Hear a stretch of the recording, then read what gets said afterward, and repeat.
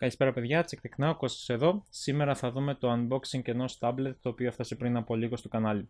Όταν είχα κάνει το unboxing του Xiaomi Mi Pad 3, το οποίο έχω λατρέψει, η μπαταρία του είναι τεράστια, κρατάει άπειρες ώρες, η ευχριστία του είναι το κάτι άλλο και το συνιστώ μετά από τόσο καιρό χρήσης. Είδα ένα σχόλιο ενός φίλου του καναλιού που μου λέει γιατί πήγες και πήρες το Mi Pad και δεν πήγες να πάρεις το συγκεκριμένο tablet, είναι το FNF 554S, το οποίο και θα δείτε στη συνέχεια. Κάνει ακριβώς τα ίδια πράγματα, είναι το ίδιο, σχετικά το ίδιο δυνατό, έχει ακριβώς την ίδια οθόνη και κοστίζει κάτω από 100 ευρώ. Το συγκεκριμένο που έχω μπροστά μου την ώρα που κάνω το unboxing και έχει 95 ευρώ. Οπότε εγώ μπήκα στη διαδικασία να το δω, το τσέκαρα τα χαρακτηριστικά του φαίνονται υπερβολικά εντυπωσιακά θα έλεγα ε, και θα σας δείξω και τα benchmark και όλα όσα έχουν γίνει για το συγκεκριμένο. Οπότε λέω ας το δοκιμάσουμε. Έτσι έφτασε στα χέρια μου και πραγματικά είμαι περίεργος να δω αν όντως ε, συγκρίνεται και μπορεί να κοντράρει άνετα το Mi Pad 3. Επίσης να τονίσω κάτι το οποίο είδα και με εντυπωσίασε ότι το συγκεκριμένο tablet μπορεί να πάρει θήκες οι οποίες είναι σχεδιασμένες για το iPad mini, οι οποίες ε, είναι εντυπωσιακές. Πραγματικά για τα iPad έχουν βγει τέλειες θήκες. Οπότε εσείς μπορείτε να βρείτε θήκες για το iPad mini και να τις προσαρμόσετε πάνω σε αυτό το tablet. Το βίντεο θα είναι αποκλειστικά αφιερωμένο πάνω στο tablet, γι' αυτό και κάνω την αρχική εισαγωγή με τη facecam, γιατί θέλω να επικεντρωθούμε στο unboxing αυτό καθε αυτό. Με ενδιαφέρει να εστιάσουμε στο προϊόν, να δούμε αν αξίζει. Οπότε ας περάσουμε στο unboxing και να το δούμε μαζί παρέα. Αυτό εδώ είναι το πακέτο, ήρθε απευθείας από Gearbest, τα link θα τα έχω όλα στην περιγραφή. Ε, ήρθε με priority line, οπότε δεν είχαμε θέμα τελωνίου αν ρωτάτε σχετικά. Πάμε να ανοίξουμε όμως το πακέτο, να δούμε τι κρύβει από κάτω, πώς είναι το κουτί του, μιας και μαζί θα το δούμε πρώτη φορά. Είναι αρκετά εντυπωσιακό και στην εμφάνιση από όσο ξέρω λίγο από το τσέκαρα το συγκεκριμένο tablet θυμίζει αρκετά το iPad. Γι' αυτό και, και το όνομα όπως καταλάβατε, τώρα γυαλίζει λίγο η κάμερα, θα το βγάλω τη ζελατίνα να μην σας θαμπώνει. Όπως καταλάβατε και από το όνομα FNF, i5, 4S, τόσα i και 4S κλπ κλπ κλπ υποδηλώνουν ότι είναι μια αντιγραφή είναι επηρεασμένο τουλάχιστον σίγουρα από το από τα iPad. Αυτό εδώ είναι το κουτί μόλις βγει από τη συσκευασία της Gearbest. Βλέπετε σαφής επιρροή από τα προϊόντα της Apple. Να σας δείξω και στο πλάι i5 mini 4S, πόσο πιο προφανές δηλαδή. Οπότε σας είπα ότι ταιριάζουν και ηθίκες από τα iPad mini να πάρετε το συγκεκριμένο, το οποίο είναι αρκετά καλό γιατί έχει υπέροχες θήκες η συγκεκριμένη. Μπορείτε να βρείτε υπέροχες θήκες στο eBay ή οπουδήποτε. Και ας περάσουμε λίγο στα τεχνικά χαρακτηριστικά στα γρήγορα πριν να το ανοίξω και να δούμε πώς είναι μέσα. Ας το βάλω στην άκρη για να μην πιάνει χώρο και να σας παρουσιάσω όλα τα στοιχεία. Έχει CPU RK3288, ARM Cortex A17 quad core στα 1,8 GHz. Είναι αρκετά καλός ο επεξεργαστής του. Όχι τίποτα το τρελό, αλλά αρκετά καλός. Η οθόνη του είναι 7,9 inches capacitive 10 σημείων IPS 2048 x 1536. Η GPU του είναι η Mali T760, 2 GB RAM, 32 GB ROM. Έχει SD μέσα υποδοχή μέχρι και 128 GB. Η πίσω κάμερα είναι 8 MP, η μπροστά κάμερα είναι 2 MP. Η μπαταρία του 4800 mAh στα 4,35V. Λέει ότι παίζει μέχρι 4 ώρες βίντεο και το βάρος του 680 γραμμάρια, αρκετά βάρη. Όπως βλέπετε έχει αρκετά κοινά χαρακτηριστικά με το Xiaomi, βέβαια και αρκετές διαφορές. Τρέχει Android 6 και σε αυτά που διαφέρει σίγουρα όπως έχετε προσέξει είναι ο επεξεργαστής, είναι η RAM, 2 GB RAM και είναι και οι κάμερες, η μπρος και η πίσω. Όμως μην ξεχνάμε ότι έχουν και 120 ευρώ διαφορά, αυτό είναι 120 ευρώ πιο φθηνό. Ας περάσουμε στη μονάδα να δούμε πώς είναι, να ανοίξουμε το κουτί.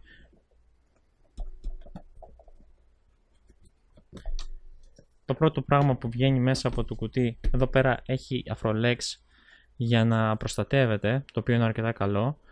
Είναι Quick Start Guide στα αγγλικά, εντυπωσιακό θα έλεγα. Εντάξει, πλέον όλοι ξέρουμε να ανοίγουμε και να ρυθμίζουμε ένα tablet, πιστεύω. Και έχουμε την κεντρική μονάδα που είναι το tablet μας. Ας δούμε όμως τι έχει από κάτω από το tablet πριν να αφιερωθούμε πάνω στη μονάδα. Afrolex εδώ πέρα προστατευτικό. Αυτό που κουδούνιζε όπως ε, είδαμε και πριν ήταν ο φορτιστής. Είναι αυτός εδώ, USB charger, όπως βλέπετε και εσείς είναι 240V European φορτιστής αρκετά σημαντικό για μας, δεν χρειαζόμαστε converters, με output στα 2A. Όσο ξέρω φορτίζει το tablet σε 3 ώρες, αν το σύνδεσετε πάνω. Έπειτα, από την άλλη πλευρά του tablet, έχουμε micro USB σε USB 2, εντάξει δεν χρειάζονται πολλές συστάσεις, έχουμε ανοίξει άπειρα τέτοια καλώδια. Και αυτά, δεν είχε κάτι άλλο το ιδιαίτερο, η συσκευασία του είναι λιτή. Κάποια από τα tablet βέβαια είναι η αλήθεια ότι δεν έχουν φορτιστές, το οποίο δεν είναι και ότι καλύτερο, αλλά τουλάχιστον αυτό ήρθε προετοιμασμένο. Να τονίσω ότι έχει και screen protector περασμένο, το οποίο απλά αφαιρούμε αυτήν εδώ την επιφάνεια, θα το βγάλουμε μαζί παρέα. Βλέπετε εδώ το δαχτυλίδι που έχω για το φως κάτω από την κάμερα. Αλλά ας το δούμε σιγά σιγά. Το πρώτο πράγμα που βλέπουμε, αν μπορείτε να διακρίνετε, εδώ πέρα είναι η κάμερά του. Αρκετά διακριτική θα έλεγα. Ας περάσουμε να δούμε και πλευρά πλευρά. Στην δεξιά πλευρά του tablet βλέπουμε τα volume buttons. Στην κάτω πλευρά του tablet βλέπουμε τα speaker, τα ηχεία του, έχει δύο τον αριθμό. Στην αριστερή πλευρά δεν έχουμε κάτι. Και στην πάνω πλευρά βλέπουμε το power button, την υποδοχή της SD, βλέπουμε την micro SD και τα, το jack 3.5 για να ακούμε μουσική. Και επίσης έχει και το μικρόφωνο του επάνω. Πίσω βλέπουμε την κάμερα του 8 MP. Βλέπετε ότι ο σχεδιασμός, η νοοτροπία, το πώς είναι φτιαγμένο και παρουσιάζεται το tablet παραπέμπει πάρα πολύ σε iPad. Οι γραμμές εδώ πέρα, η πλάτη. Να τονίσω ότι ο σκελετός όλος είναι μεταλλικός, δεν είναι πλαστικό, είναι μέταλλο, το οποίο προσθέτει ένα συν και να βγάλουμε την προστασία, την αρχική, να μείνει το screen saver, βασικά το προστατευτικό το από κάτω που έχει. Αυτό εδώ είναι το tablet, να δούμε αν έχει καθόλου μπαταρία και πόσο γρήγορα θα μπουτάρει.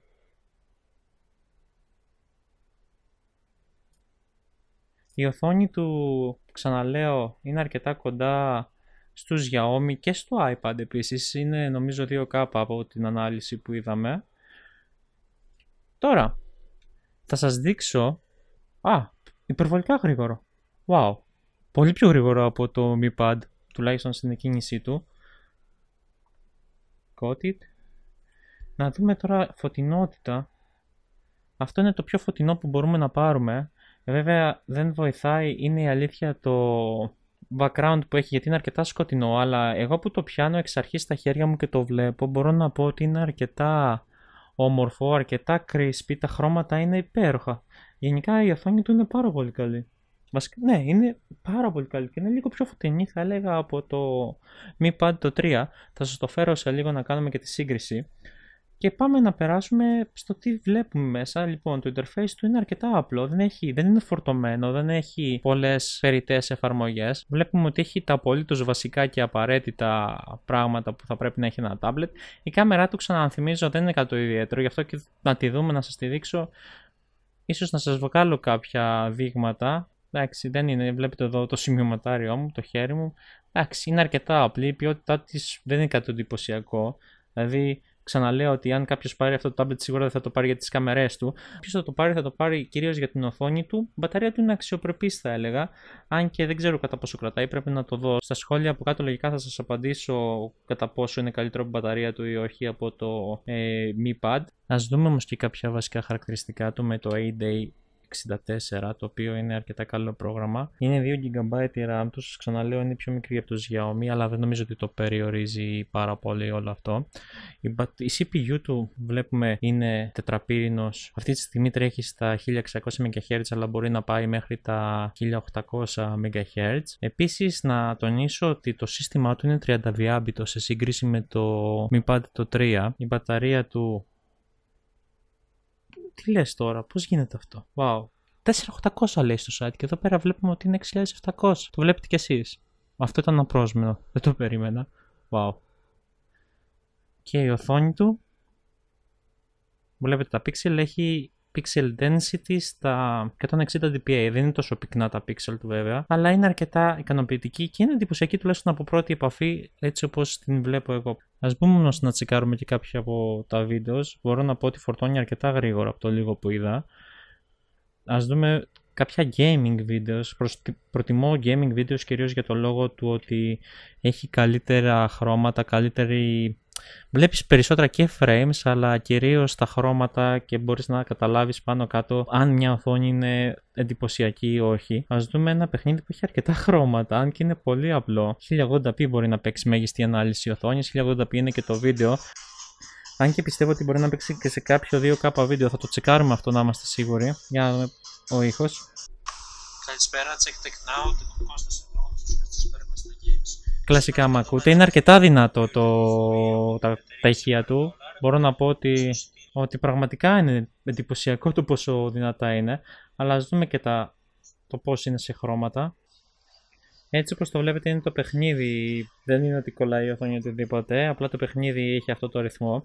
Όμως τώρα μου μπήκε στο μυαλό να δω βίντεο 2K και ναι όντως θέλω να δω βίντεο 2K να δούμε αν όντως είναι καλό. Αυτό είναι το αγαπημένο μου sample όταν το χρησιμοποιώ. Ναι, όντως. Σηκώνει μέχρι και 2K η οθόνη. Είναι εντυπωσιακή.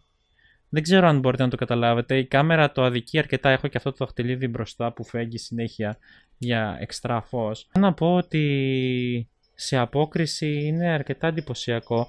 Βλέπετε όμως βέβαια έχουμε και τα πλαίσια πάνω και κάτω. Κάτι που δεν μπορείτε να το αποφύγετε σε μια τέτοια οθόνη 7,9 inches, κάτι το οποίο το κάνει και το Xiaomi. Οπότε, ναι, νομίζω ότι θέλοντας και εμείς δεν μπορούμε να το αποφύγουμε. Τα ηχεία του, ξαναλέω, είναι πάρα πολύ δυνατά σε σύγκριση με άλλα του ανταγωνισμού. Και η τιμή του, η τιμή του 96 ευρώ αυτή τη στιγμή ανεβοκατεβαίνει. Δεν ξέρω, έτσι όπως το βλέπω, η αλήθεια είναι ότι είναι αρκετά βαρύ, αλλά έχει πάρα πολύ καλή οθόνη. Για μένα τα tablet αυτού του είδους τα χρησιμοποιώ πιο πολύ ως εργαλεία για να διαβάζω PDF, βιβλία και κόμικ. Οι οθόνες αυτού του τύπου είναι ιδανικές αν θες να διαβάσεις κάποιο κόμικ και κάποιο βιβλίο PDF ή e-book ή οτιδήποτε. Για μένα αυτή είναι η κύρια χρήση τους και κάποιο βιντεάκι ίσως στο YouTube. Για να βλέπεις βίντεο στο YouTube είναι ιδανικό πάντως. Η οθόνη του είναι πάρα πολύ καλή. Το ίντερνετ του συμπεριφέρεται αρκετά καλά. Επαναλαμβάνω ότι είναι αρκετά βαρύ tablet σε σύγκριση με το Xiaomi. Αυτό εδώ είναι το Xiaomi να τα ανοίξουμε κιόλας, να το δούμε δίπλα-δίπλα. Είναι παραπλήσια, όπως βλέπετε σχεδόν το ίδιο μέγεθος, τα ίδια bezel. Αυτό επαναλαμβάνω έχει επιρροές από το iPad mini, αυτό έχει και αυτό από τα iPad αλλά λίγο διαφορετικό σχεδιασμό, πιο πολλές καμπύλες. Αυτό εδώ δεν έχει τόσο πολλές καμπύλες, είναι λίγο πιο μονοκόμματο, λίγο πιο... θυμίζει κινητό κάτι ανάμεσα σε 4 S κινητό και σε iPad. Η αλήθεια είναι ότι μ' αρέσει. Μ' αρέσει κυρίως για την οθόνη του. Η οθόνη τους σε αυτά τα λεφτά νομίζω ότι είναι πολύ καλό deal αν το βρείτε. Έχει, ξαναπαναλαμβάνω, αρκετά δυνατά ηχεία. Το ωραίο βέβαια με το Xiaomi είναι ότι έχει enchantment, το οποίο αν βάλετε ακουστικά της Xiaomi, φτιάχνει τον ήχο πάνω στα ακουστικά τα δικά της, που είναι πολύ καλό να χρησιμοποιείτε ακουστικά Xiaomi. Αυτό δεν το έχει προφανώς. Ε, δεν ξέρω. Έτσι όπως τα βλέπω και τα δύο είναι το ένα καλύτερο από το άλλο. Πρέπει να το χρησιμοποιήσω αρκετές μέρες. Θα ήθελα να μου δώσετε λίγο καιρό να το χρησιμοποιήσω για να κάνω και το review. Α φέρω πιο κοντά και την κάμερα να το δούμε λίγο σε πιο close-up. Είναι αρκετά όμορφα και τα δύο. Τώρα μου λέγατε να διαλέξω ένα από τα δύο να σας πω πιο πολύ η εμφάνιση του Xiaomi με κερδίζει περισσότερο. Αλλά σας ξαναλέω αυτό εδώ έχει τα θετικά του ότι μπορείς να προσαρμόσεις θήκες, τουλάχιστον έτσι όπως έχω ακούσει από τα σχόλια που έχω διαβάσει του iPad, το οποίο είναι αρκετά καλό. Σκλειδώνει από το πάνω μέρος, δεν χρειάζεται να πατήσετε κάποιο άλλο πλήκτρο, δεν έχει double tap. Ε, το ίδιο γίνεται και με το Xiaomi βέβαια. Η οθόνη του είναι εντυπωσιακή τουλάχιστον για αυτό το εύρος τιμής. Σας ε, βάζω τώρα εδώ να δείτε τα συγκριτικά benchmark ανάμεσα στο ένα και στο άλλο. Όπως θα δείτε οι τιμές τους, τα σκορ που έχει χτυπήσει το Xiaomi και το i5 είναι αρκετά κοντά. Το Xiaomi βέβαια υπερτερεί σε αρκετά πραγματάκια, σε αρκετές λεπτομέρειες, αλλά έχει και 120 ευρώ παραπάνω. Νομίζω ότι για αυτά τα 120 ευρώ θα μπορούσε κάποιος να το ξανασκεφτεί και να το δοκιμάσει αυτό το tablet. Για tablet της κατηγορίας των 100 ευρώ φαίνεται εντυπωσιακό. Είναι βαρύ, αλλά είναι μεταλλική κατασκευή. Εντάξει, έχει μεταλλικό πλαίσιο όλο γύρω-γύρω, το οποίο είναι ένα μεγάλο. Είναι μεταλλικό, είναι βέβαια και το Xiaomi. Σας ξαναλέω, δείτε και συγκρίνεται. Θα κάνω και το review. Θέλω να το χρησιμοποιήσω αρκετές μέρες να δω εάν και κατά πόσο θα είναι βολικό και στη χρήση του. Νομίζω ότι εντάξει, το μέγεθος του για μένα είναι ότι πρέπει, μιας και έχω συνηθίσει ήδη και με το Xiaomi, αλλά θέλω να δω και σε μπαταρία. Είδατε ότι η μπαταρία είναι αρκετά μεγάλη. Και άλλη τόση μπαταρία κρυμμένη Και δεν μπορώ να καταλάβω για ποιο λόγο λένε ότι είναι 4.800 mAh ενώ το σύστημα βγάζει 6.700. Εάν ισχύουν τα νούμερα που είδαμε, περιμένω ότι η χρήση του θα είναι πρακτικά άπειρη. Θα μπορεί να μου βγάζει πάρα πολύ καιρό. Αλλά αφήστε με να το δοκιμάσω με την ησυχία μου και να κάτσουμε να κάνουμε ένα review με την ησυχία μας κάποια στιγμή. Αυτό εδώ ήταν. Ελπίζω να σας άρεσε. Αρκετά οικονομικό. Νομίζω ότι για το κατοστάρικο θα το σκεφτόμουν να συζητηθεί. Δηλαδή, ένα κατοστάρικο είναι μεγάλη διαφορά για ψηλές λεπτομέρειες. Τώρα, σας ξαναλέω, δώστε μου λίγο καιρό να δούμε να κάνουμε το review με την ησυχία μας για να μπορέσω να σας πω ακόμη καλύτερα την γνώμη μου. Αυτό ήταν το unboxing του i5 4S. Από μένα, να έχετε μια όμορφη μέρα και θα τα ξαναπούμε σε ένα επόμενο βίντεο. Γεια σας, παιδιά.